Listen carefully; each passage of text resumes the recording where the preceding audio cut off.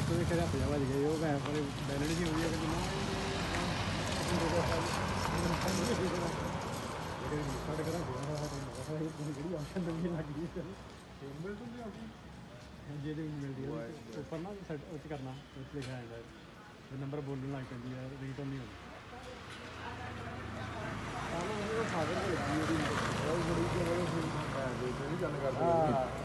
ਤਾਂ ਮੂੰਹ ਮੂੰਹ ਦੀ ਕਰੀ ਤੁਸੀਂ ਆ ਇਹ ਤਾਂ ਕਹਿੰਦਾ ਵੈਸੇ ਹੀ ਕੰਮ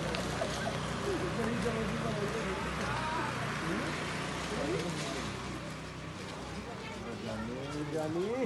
ਜਦੋਂ ਅਸੀਂ ਕਰਨੇ मैं जानी फोन हम यूं नहीं उठा देते जब हमारी मर्जी होगी तब उठाएंगे बड़ा बढ़िया